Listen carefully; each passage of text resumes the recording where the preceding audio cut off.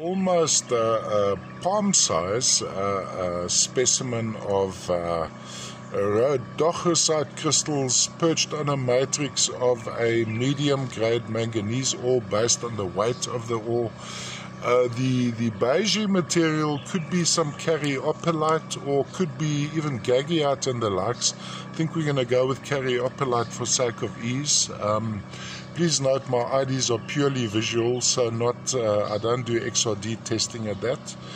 Um, so first of all, let's let's have it lying flat on a turntable like this. So looking at it this way, this one is maybe a little bit difficult to understand. There are various aspects of display here. Uh, maybe now that you've seen the, the video, you can uh, figure out how the still picture works uh, at the various angles. So here's one quite lovely point of display where you have that vug of the rhodochrosite on a lawn of caryophyllite, it seems. Then when we go across here, we have this totally full section over here.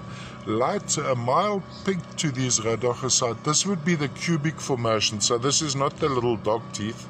Little little vug on the side. Matrix itself is is mainly almost a brecciating uh, manganese ore. Uh, so looking from the top down, now that we've looked at the individual vugs, we'd have this effect. All the way from the Channing 1 mine, Kalahari Manganese Fields, Northern Cape of South Africa. Actually, when I saw this material first, I thought it was from the 2010 deposits of uh, Channing 3, but uh, uh, uh, could be. Let's go with Channing 1 for now, though.